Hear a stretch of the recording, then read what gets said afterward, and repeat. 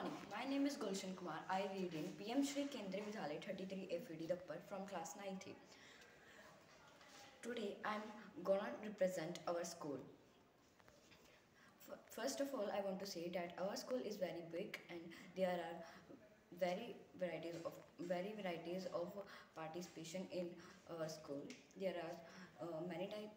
There are different types of teachers such as librarian teach, library teacher, counselor teacher, and all. I want to say that our school, uh, our school give uh, each facilities to the children of our uh, of PM Shri Kendriya Vidyalaya 33 FED Dappar.